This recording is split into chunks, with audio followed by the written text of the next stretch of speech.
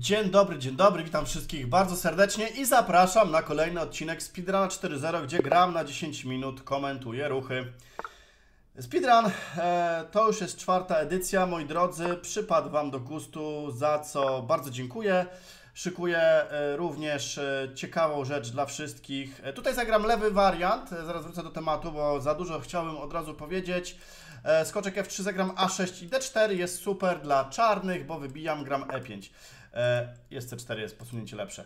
E, Wracając do tematu, to y, szykuję Wam coś fajnego i od razu zaznaczę darmowego. Mam nadzieję, że będziecie zadowoleni, ale tak, deklaruję to troszkę publicznie, nie wszystko zdradzę. E, Mam nadzieję, że to będzie fajna niespodzianka. E, Więc e, wyczekujcie, moi drodzy, ciekawej rzeczy. Ale to później. No i gram goniec G7. Myślę, że tutaj, cóż, pozycja jest z A6. W sumie A6 chyba i tak jest przydatnym posunięciem.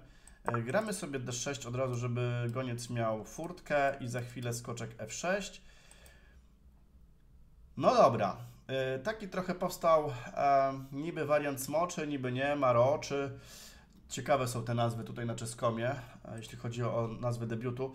E, Grunt to, żeby zagrać dobre ruchy.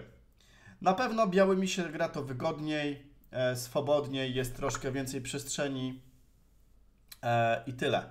Hetman D2 z planem zapewnia tutaj, niech sobie przeciwnik tam rusza, nie ma problemu. Znaczy taki ruch w ogóle jest teraz niemożliwy, bo jest bicie i zdobywam tutaj skoczka, więc ewentualnie musiałby wybić, ale to jest dla nas też bardzo dobre. Jest długa roszada, a czy ja nie mogę teraz zagrać takiego posunięcia? Wykorzystać to, że gość nie zagrał F3, co jest bardzo ważnym ruchem, bo jak zagram tu, on odejdzie, ja zbijam skoczka, jak zagram tu, on mi wybije, ja wybiję, on, on zagra tu, ja tu, on wróci, wybije, tu pionek niby słaby, ale hmm, zawsze mam, zawsze co ja mam tutaj w sumie, to ja nie wiem, co ja tutaj mam. Dobra, skoczek G4. E, Nie zawsze mogę się doliczyć do wszystkiego, ale mimo wszystko czuję, że ten ruch jest dobry. Z czego to może wynikać, że na przykład szachista czuje pewne posunięcia? Ano na pewno z praktyki, a druga sprawa jest taka, że y, przeanalizowanie wielu partii e, może o tym e, świadczyć. Słuchajcie, E5 myślę, że i tak jest dobre. Bo gość musi tym gońcem uciec. Jak zbije tu, on zbije pionkiem, będzie miał pionki złączone. Ja nawet mogę gońcem wrócić. A teraz... Teraz bronię tu. Tylko chwila. A może tak? Chodzi o to, żeby mieć opcję obrony, ale też atak tutaj na G5. Mój drogi przyjacielu 2000, mam, mam twojego hetmana, jakże to piękna łapeczka. Zagrał za szybko, podjarał się tym, że tutaj ma fajną wolną linię i niestety, mój drogi przyjacielu, partia się kończy. 14 posunięć, moi drodzy, to się rzadko zdarza, no ale cóż, hetman złapany, a ja tylko tak subtelnie gońcem zagrałem. 2054. Niech będzie gambit hetmański. Ten styczeń jest e, właśnie miesiącem przewodnim tego gambitu. E, Niedługo się na pewno, e, moi drodzy widzowie, dowiecie dlaczego. E6, skoczek na F3 i tyle w temacie. Jest C6, no i skoczek na C3. Wyprowadzam sobie swobodnie skoczki i goniec G5. Nie boję się konfrontacji ostrych debiutów. Goniec na E3, E7. E, Tutaj myślę, że subtelnie E3, bez żadnych udziwnień. Normalna sprawa. Skoczek na E4, proszę Ciebie. Proszę Ciebie, zbijamy skoczka, on zbije, ja zbiję tutaj i skoczek na E2. Chodź skocz, nie no skoczek na E2, atak na pionka, tutaj też nie ma szacha. Jasne, posunięcie F5 jest y, normalnym ruchem. Goniec E2, żeby zrobić szybko roszadę i przez F3 będę chciał dobić się do przeciwnika. Jeszcze istnieje opcja C5, ale dostanę takie posunięcie i to jest ruch, który będzie grany na pewno. Muszę się y, tędy, do, y, tędy przebić. Nie ma wyjścia. F3 według mnie trzeba zagrać. Jest bicie. No i tutaj myślę, że zbicie skoczkiem nie, bardziej gońcem. Jeszcze się zastanawiam. No właśnie, zagrałem, a się zastanawiam. Nie no, pionkiem? Tu, tu? Nie, pionkiem nie. Gońcem. Gońcem, e, gońcem, gońcem, gońcem. A, myślałem, że E5 zagrasz, drogi przyjacielu. Nie chciałeś tego zagrać. Okej. W sumie mogę też tak pyknąć. Dobra. E, Krzysztof, pomyśl teraz e, nad dalszym tutaj układem sił. C5 wchodzi w grę. Jeżeli tak, to tu i skoczka sobie wstawię tam na amen. Nie do końca. Goniec wejdzie tu i tu. Ten skoczek też będzie miał dobre opcje w centrum, więc chyba nie chciałbym tego. Lecz hetman b3 wydaje się sensowne, bo jeżeli tak, to tak, jeżeli tak, to tak. Ok, uciekła ptaszynka z ataków, ale wprowadzam drugą wieżę. I to jest właśnie mój cel, żeby hetmana właśnie wyrzucić i wprowadzić tu wieżę i będę chciał zagrać e4. Ale był szybszy, zagrał e5. Słusznie zresztą. Słusznie zresztą. Taki ruch w zanadrzu on może mieć. Ok. D5 chyba, tak. Ten pionek może być słaby, a może tak zagrać? On zbije mi tu, tu. Nie. To nie wchodzi w grę. Chwila. Zmuszasz mnie do myślenia. Kurczę, przeciwniku. Zmusił mnie do myślenia. Dobra, zaraz zobaczymy, co tutaj wy, wykombinować. Taki ruch. Dobra, gram C5. Gram C5, żeby wstawić skoczka. On może zagrać tak. Ja wtedy tu. I skoczka wstawię. Chodzi o to, że jak on zbije, to mi się otworzy wieża. To przepchanie też było w tutaj w moich y, kalkulacjach. Goniec wraca i zawsze się zasłonie. Bo jeżeli on zbije, to ja też zbiję. On będzie miał świetnego skoczka tutaj, a ja na E5 albo na D6. No coś za coś. E, ale wieże przynajmniej działają tutaj jak trzeba. No dobra, teraz jest pytanie takie, czy wybić skoczka, czy go nie, nie wybić.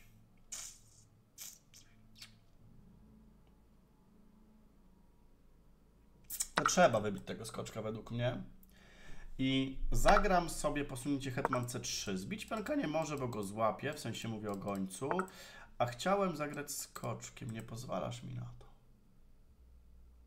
Dobra, wybijam. Wiecie dlaczego? Bo on będzie miał pionki, które będzie musiał bronić. A3 wszystko ładnie broni, a za chwilę będę chciał wejść tu. A jeżeli zagra właśnie tak, jak zagrał, świetnie. To Krzysztof przygotowuje akcję na linii C. I to już widziałem y, kilka ruchów wcześniej. H6 pewnie dlatego, żeby zagrać G5, choć nie rozumiem tego ruchu.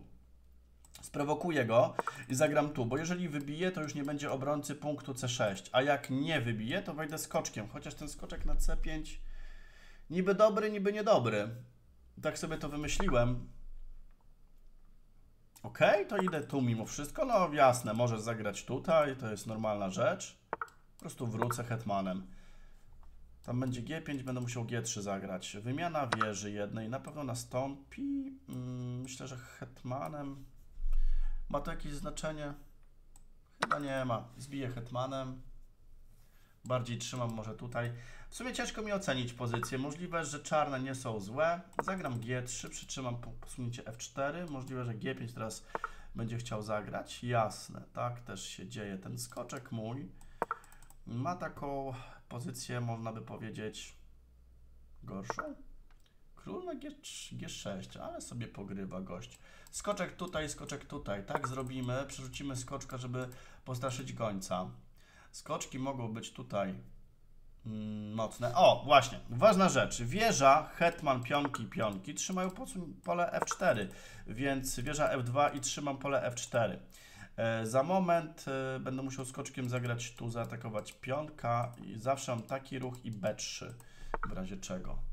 Ok, hetman zagrał tutaj. Zaraz, tu jakieś widełki? Nie. Tak zagramy, żeby mieć opcję tu, bo mogę tak i tak. Mogę w ogóle teraz B3 zagrać. Jak tu, to tu. I zdobywam figurę. Ciekawe, czy się złapie. Bo jeżeli zagram tak, on tu, ja tu, tu, wybiję. Ten pionek na A3 będzie słaby w ciężko e, figurowej końcówce. Lecz na razie tak.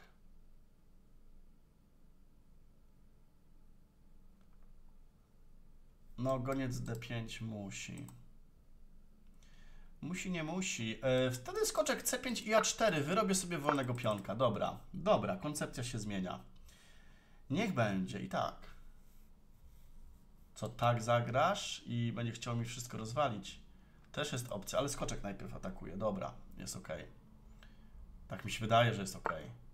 No i A4. Pionek musi być wolny. On musi czuć zagrożenie. F4, no jest to posunięcie do zagrania. No jest. Wtedy mogę wybić, tu hetman trzyma, wszystko scalam. Wybić do końca, wymienić i końcówka będzie lepsza, bo ten pionek będzie yy, wiódł prym. Będzie niebezpieczny i to jest ten atut. No i tutaj chyba czarne mają teraz gorzej. H5 nastąpiło, taki ruch będzie grany przez gościa, to ja po prostu wybiję. Więc idziemy A5, A6, jeszcze wyżej.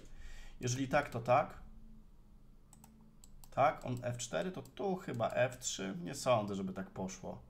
Król tu nie będzie miał chyba zagrożenia. Ten pionek jest groźny, on też będzie musiał uważać. Dobra, bije.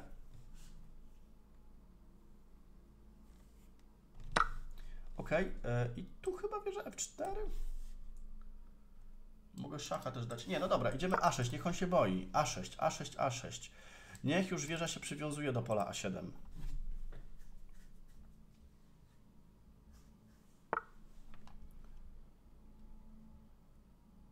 Aha, maty tutaj będą groziły, szachy maty tu będą groziły.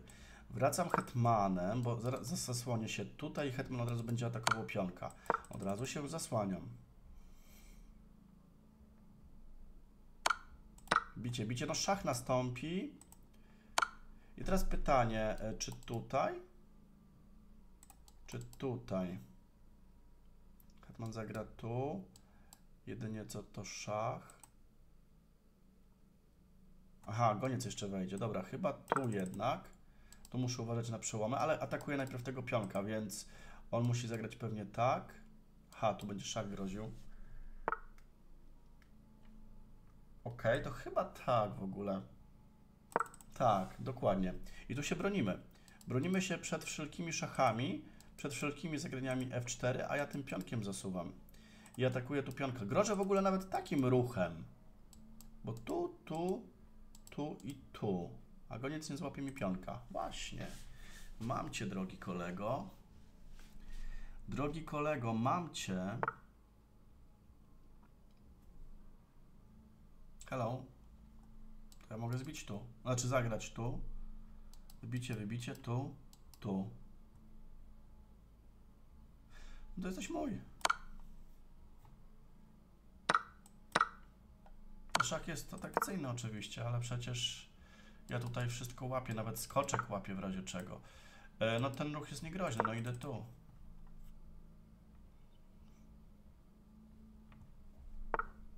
No jest. Jest mój. Zbijemy.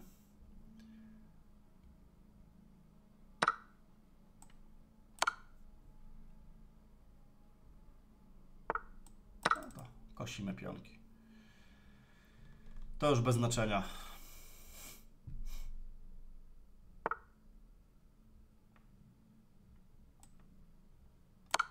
Szach, tu weźmiemy, chyba że zbije. Bez znaczenia, ok. Ale myślę, że dobrze to wyszło, fajnie.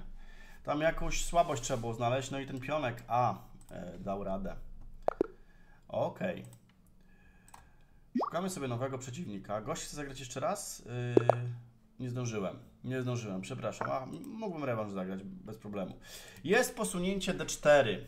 D4. Zagrajmy C5. Zagramy sobie taki wariant kąśliwy. Aj, C3. Co za londoniarz. Prawie londoniarz, bo jeszcze brakuje tu. No to skoczek wychodzi do akcji, żeby bronić E4 i zbił. Chcesz tego pionka.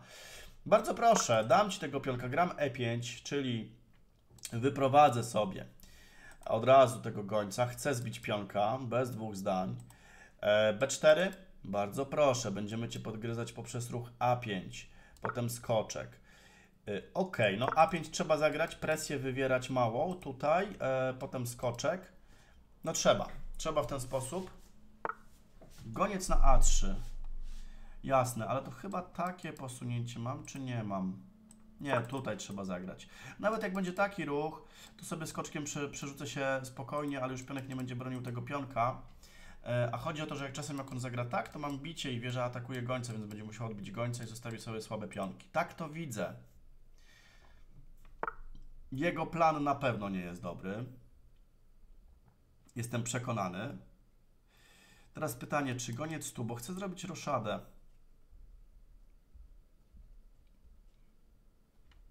Może zbić? Nie, no bić chyba nie.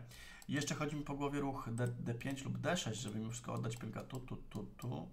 No nie, może nie. Tutaj, tutaj. Dobra, gonię C7, żeby zrobić roszadę i będziemy patrzeć, co się dzieje dalej. Chcesz bić skoczka? Proszę bardzo.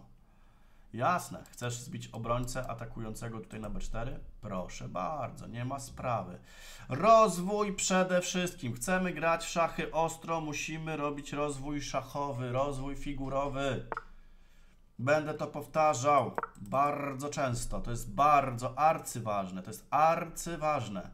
E5 od razu atakuje. Nie ma co się tutaj e, szczypać. Możliwe, że ten ruch chce wykonać. Chce ten ruch chyba wykonać.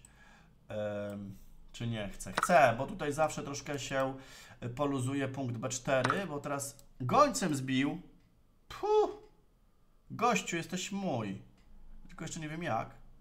Ale to jest w ogóle fatalne. Fatalne jest wtedy, gdy to wykorzystasz. Mówię do siebie akurat w tym momencie.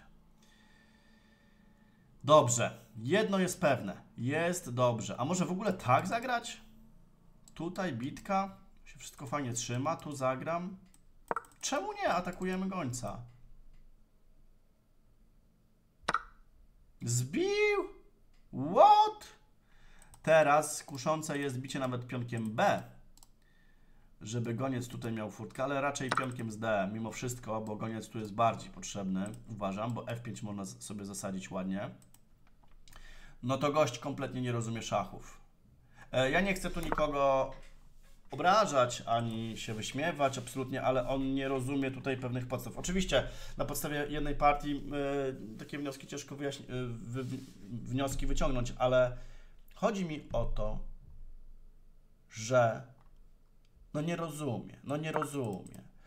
Em, mam nadzieję, że dobrze to odbieracie, bo to mi tu chodzi głównie o aspekt edukacyjny, żeby to pojąć. Zobaczcie, no on gra białymi, on tutaj koślawo kompletnie stoi. E, tylko pytanie jest, jak to wykorzystać? To jest najważniejsza rzecz. Przerzucę, no, to jest kuszące, ale myślę już o ataku na króla.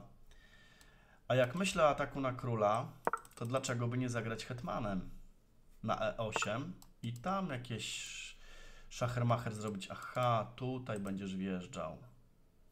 Słusznie. Dobra, konsekwentnie i teraz F4. Myślę, że plan ataku prosty, najprostszy jaki może być, potem goniec na H3. Nie ma co się szczypać. Tak zagrasz yy, skoczkiem? No możesz, potem wejść tu, jasne. Zagram tak, wejdziesz skoczkiem, no nie wiem, zagram sobie z hetmanem tutaj i będę dalej cię atakował z dwóch stron. No dobra, powinno być dobrze. On się poci, on ma big piona na polu B4. Jego sprawa. Jak mu tak dobrze, to niech sobie tam stoi. Ten goniec. Em, no dobra. Wydaje mi się, że jest pięknie. Możliwe, ja bym na jego miejscu na przykład zagrał hetmanem, bo chodzi o to, że jak zagra, zagram tu, to on ma strzałkę na E4. Uuu. Tego nie spodziewał się nikt. I co, wybić tutaj tego gońca? Trochę się chce. Z drugiej strony. Z drugiej strony trochę się nie chce. E. Wracam. Wracam. Niech ten słaby goniec tam stoi, a tutaj będę miał zawsze opcję wybicia tego pionka, jeżeli ten goniec odejdzie. To jest jedno, a dwa, że F4 i tak wchodzi w grę, bo chcę zagrać potem tam. Więc to chyba działa dobrze. F4. No boi się, ewidentnie boi się. No tu bicie w przelocie jest raczej obowiązkowe. Nawet się nie będę zastanawiał. Muszę, bo wchodzę skoczkiem też na fajne pole. Koncepcja gry się zmienia. Niekoniecznie ten atak musi być y, od razu, to znaczy nie musi być jedynym, jedyną opcją i wchodzę skoczkiem. Tu nic nie widzę, skoczek E4, bo mam opcję wybicia od y, odbicia pionka. Poza tym y, dostanę dobrą grę na pewno. Skoczek E5 to hetman H6 mi chodzi po głowie. Ten skoczek tu nie stoi optymalnie, no, nawet mogę go po prostu zaatakować. Hetman H6, ale mi się miskliknęło prawie, że. E, tu grożę wybiciem. E, poza tym też taka opcja istnieje. Dużo jest dobrych opcji. I co ty chcesz mi tu uczynić, mój drogi przyjacielu? A jak zagram tak, to co? To tu? To tu. Aha, tu to tu.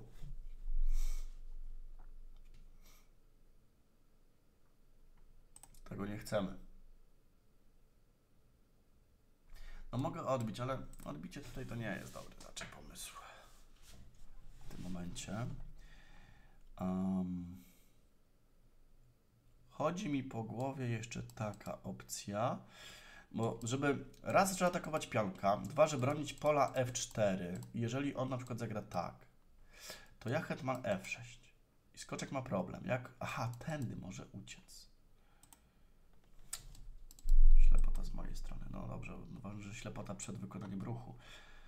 Jeszcze widzę taki ruch jak G5. A dlaczego by nie tam się nie cisnąć? To może być ostre. Grajmy tak. Nie ma co się szczypać. Mam tutaj opcję, żeby tak grać, więc jak zagram... Aha, G4. What? G4 to jeszcze mam taką opcję. Skoczek ucieknie. Hmm, skoczek może mieć mały problem. Znaczy on nie zginie, to się wszystko trzyma. Może wtedy... Hmm, tutaj? Nie, nie mogę, bo skoczek będzie stał tu. No zobaczymy. Jest to opcja po G5 i G4.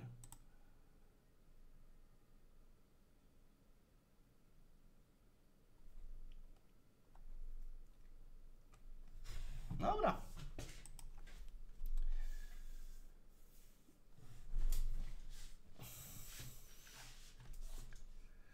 Mam cię. Nie no, co ja gadam? Jakie mam cię? Nie mam cię. Ty możesz mieć mnie. E, zawsze trzeba być czujnym. Zawsze. E, znaczy tak, G4 rozważam. Myślę, że to jest dobry ruch z jego strony. Jakoś będzie trzeba zagrać. Jakoś trzeba będzie odpowiedzieć.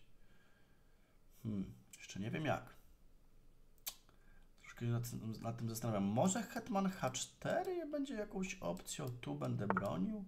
Ale spękał, słuchajcie. Gość spękał.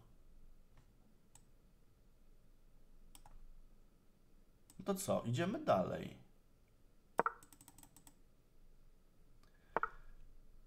Skoczek szuka dobrej opcji. Dobra. I tu grożę matem. A co zagrasz H3? Naprawdę? Jesteś do tego zdolny.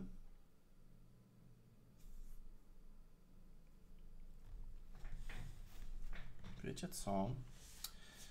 Wydaje mi się, że subtelnie zagramy, tak? Żeby wprowadzić wieżę na E8, bo on zagra tu. Ja mogę wtedy na przykład goniec G5 i wprowadzić wieżę. Taki, taki miałem zamysł. Żeby po prostu wprowadzić wszystkie figury. Na razie goniec D7, bo nie widzę jakiejś tutaj opcji. No G3 to nie, bo H3. A tutaj e, dobrze te pola są kontrolowane. No skoczek znajduje też placówkę, jasne. Coś za coś. Zawsze mogę odbić tu pionka również, ale tego nie chcę jeszcze czynić.